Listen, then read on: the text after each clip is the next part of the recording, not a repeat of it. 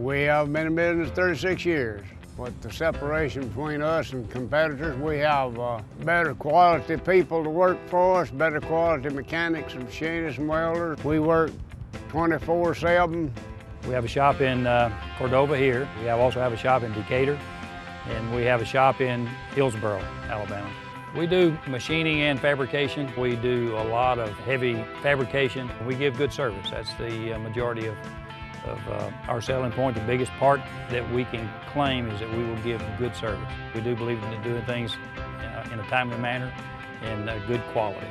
They come to us because number one, we have the capacity. We can do anything that, that any of our customers need to do. We handle small things and we handle large things. Mr. Wilson always takes care of the small customer too.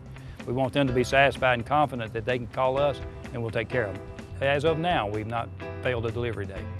That's our biggest selling point. Plus, they can count on our quality.